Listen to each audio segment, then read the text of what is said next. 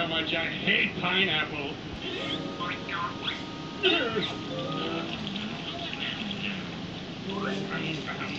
Hey, this snail litter tastes better than pineapple. Now, where is that secret formula?